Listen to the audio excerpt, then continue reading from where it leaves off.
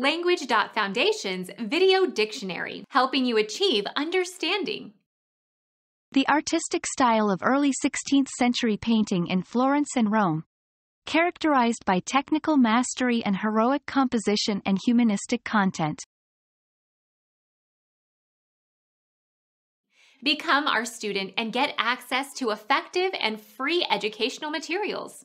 Subscribe to our channel to become a part of our growing community and to learn English effectively.